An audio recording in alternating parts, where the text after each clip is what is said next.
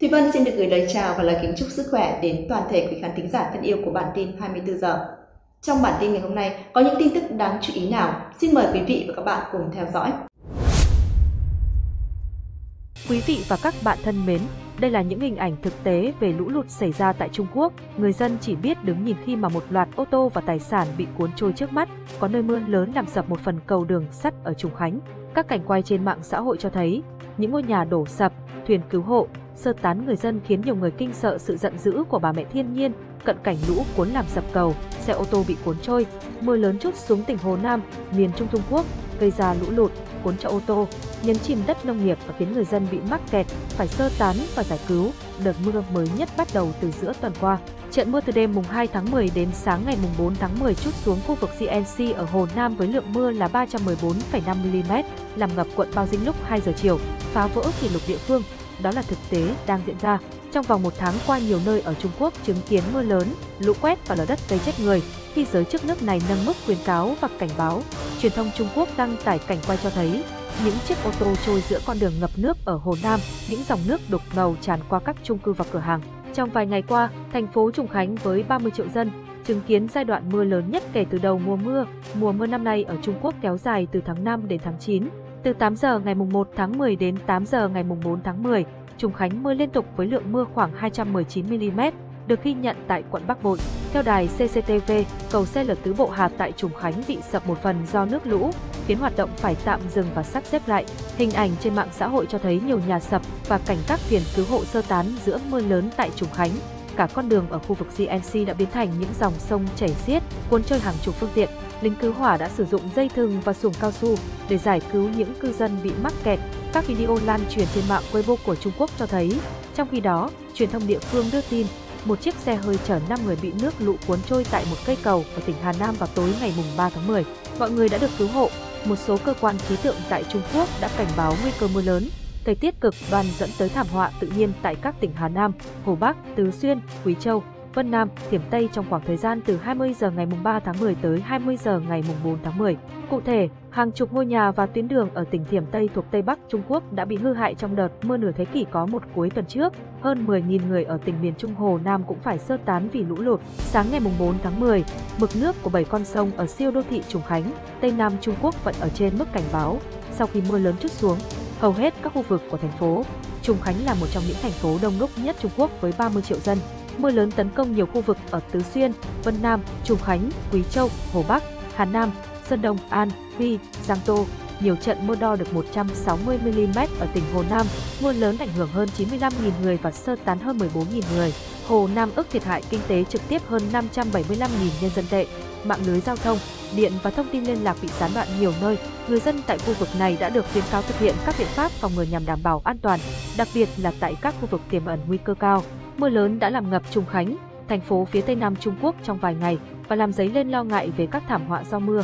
Cơ quan chức năng Trung Quốc đã cảnh báo về thời tiết cực đoan và nhiều thiên tai trong tháng 10, trong khi mưa lớn khiến hàng ngàn người phải sơ tán tại tỉnh Hồ Nam.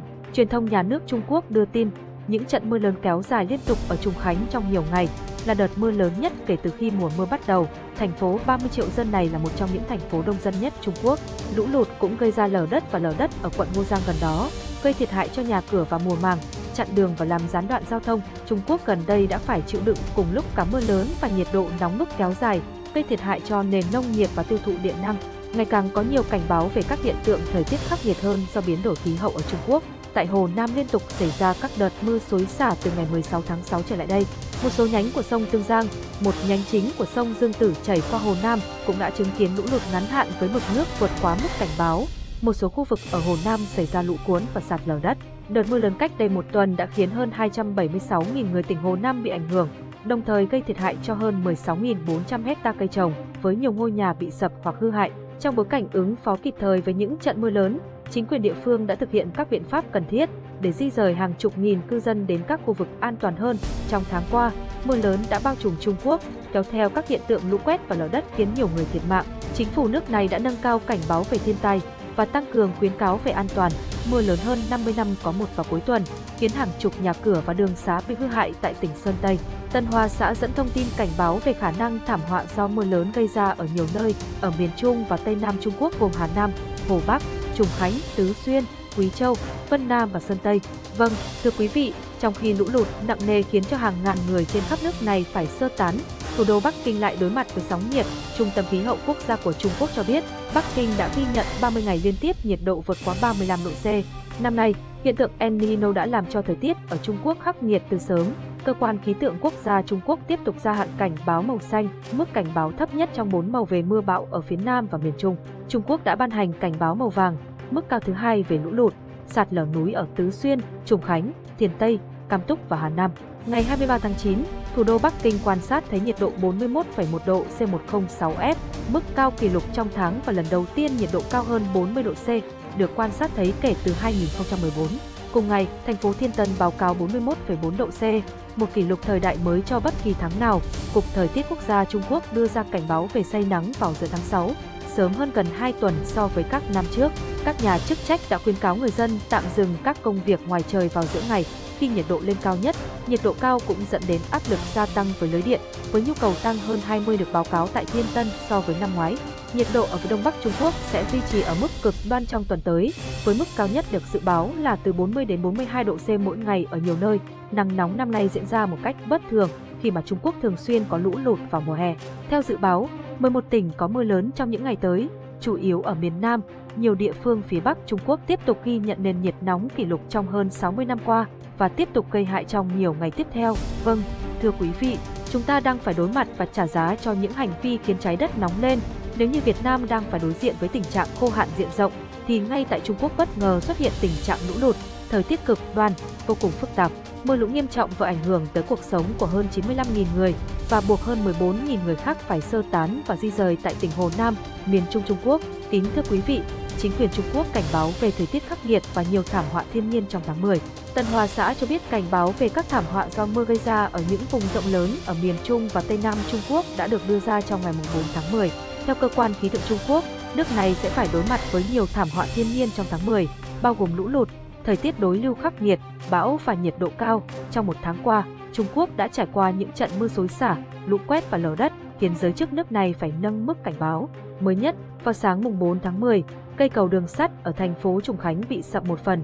Sau khi mưa kéo dài làm hợp thành phố phía tây nam Trung Quốc vài ngày qua, đợt mưa liên tục ở Trùng Khánh này là đợt mưa lớn nhất kể từ khi mùa mưa bắt đầu tại Trung Quốc, thường kéo dài từ tháng 5 đến tháng 9.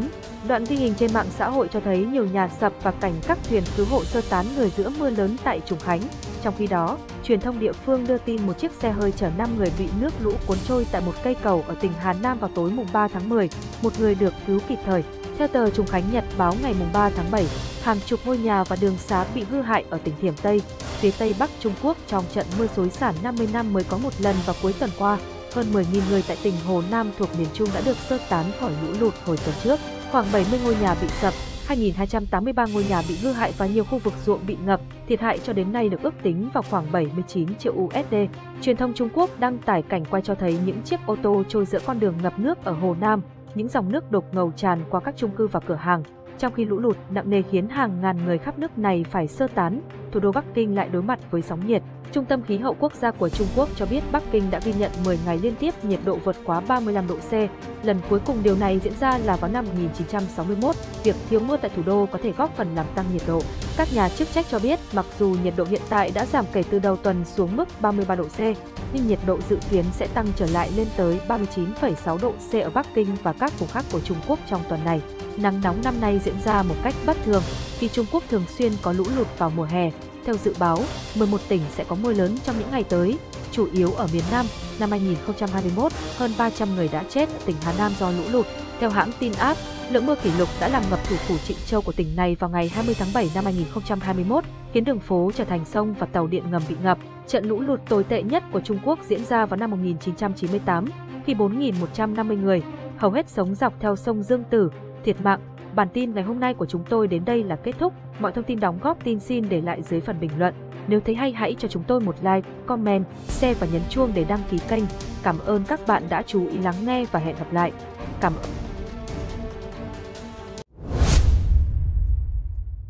Cảm ơn quý vị và các bạn đã chú ý theo dõi đến hết cuối video. Một lần nữa thay mặt cho ekip làm chương trình, Thùy Vân xin được cảm ơn sự quan tâm theo dõi và đồng hành của quý vị khán giả. Xin chào và hẹn gặp lại quý vị trong những video tiếp theo.